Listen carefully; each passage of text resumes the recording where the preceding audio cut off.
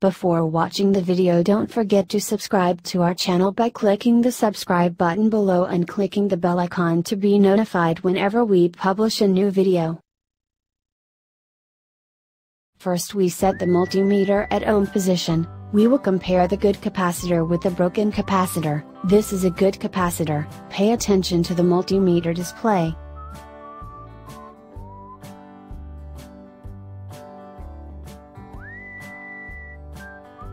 Then we will check the broken capacitor, we can check from capacitor appearance, like this, like burn and the top looks swell or damaged. And pay attention to the multimeter display when check a capacitor polarity.